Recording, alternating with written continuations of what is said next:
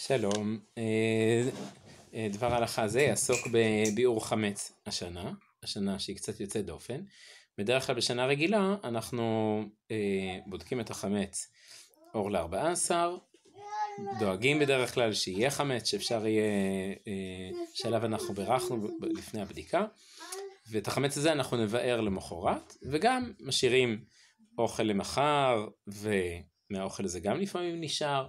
ובכלל בבית לפעמים פשוט נשאר חמץ, לפעמים אפילו בכמויות גדולות, ואת כל מה שנשאר צריך לבאר ביום י"ד. אה, המנהג הוא לבאר על ידי שרפה, לשרוף את החמץ, וצריך לדאוג שהחמץ יישרף ממש ממש עד תום, ורק אחר כך אנחנו עושים ביטול חמץ, מכיוון שאנחנו, אם נבטל את החמץ לפני סיום השרפה, אז אה, בעצם נמצא שאנחנו שורפים חמץ שהוא כבר איננו שלנו, או שהוא איננו אה, נחשב בכלל, ואז אנחנו לא מקיימים את העניין של ביעור חמץ, של שריפת החמץ. זה מה שקורה בשנה רגילה. אה, השנה שיש לנו ממש אה, אה, קושי לשרוף את החמץ ממש, וגם אם אפשר, אז צריך להיות ככה באיכשהו באיזה זמן בצורה לחוצה ומצומצמת, אם אדם יכול לעשות את זה בחצר שלו, או בחוץ, אבל בזמן קצר, כי כדי לא לשהות בחוץ הרבה זמן, בטח לא איזה מדורה ככה ציבורית, שהרבה אנשים עומדים שם מסביב ומתעסקים בחמץ שלהם, ותוך כדי מתרועעים, מה שקורה כל שנה. אז uh, השנה נצטרך לעשות אחרת. uh, והשאלה איך, איך אפשר לעשות ביור חמץ השנה בצורה שזה יהיה תואם לה, לה, להנחיות, לצורך הבריאותי. אז אני מציע ככה, דבר ראשון, אה, לדאוג לזה שיישאר לנו ליום י"ד בבוקר, שיישאר ממש מעט חמץ. אה, וזה קודם כל על ידי זה שמחשבים כבר מעכשיו טוב אה, כמה לקנות, כמה לאכול, וגם שכשמגיע יום י"ג, לפני בדיקת חמץ, לזרוק לפח את כל החמץ המיותר. אפשר, אם אפשר, למסור את זה לגמח, שימכור את זה ויחלק אחר כך לעניים, זה נפלא, אבל אם לא, אז לזרוק לפח. ביום י"ג עוד אפשר לזרוק לפח. ביום י"ד בבוקר זה כבר קצת בעיה, מכיוון שהחמץ שנמצא בפח, אם לא פינו אותו עדיין, גם הפח הכללי, הוא בעצם מוחזק בכלי של הציבור, זה אולי אה, לא דרך טובה להשבית את החמץ מהבית.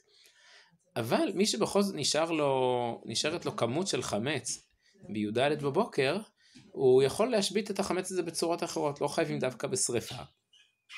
אפשר לשפוך אקונומיקה, אפשר לפורר ולהוריד את זה באסלה, אפשר לפורר ולזרות לרוח, יש עוד דרכים איך להשבית את החמץ, ולהשאיר ממש ממש מעט, ואת המעט הזה לשרוף. אם גם זה קשה, כי אין חצר פרטית שבה אפשר לשרוף או משהו כזה, אז uh, אני חשבתי על רעיון שאפשר להתארגן אליו אולי, וזה uh, לעשות איזושהי מדורה שכונתית כזאת, ושיהיה מישהו בהתנדבות, אולי בני נוער או משהו כזה, שיעברו בין הבתים ויאספו בצורה סטרילית עם כפפות, עם מסכה, עם הכל, לתוך שקית ככה שלא נוגעים ולא שום דבר, יאספו את החמץ שנשאר לשרפה לכולם, שזה יהיה ממש ממש מעט חמץ, ואז בני הנוער האלה ילכו וישרפו את זה, כן, אחד או שניים, לא צריך הרבה אנשים, באיזה מדורה גדולה, ואז כשהכל יהיה שרוף ממש, יוכלו להודיע לכולם שהחמץ כבר נשרף, ואפשר יהיה לבטל.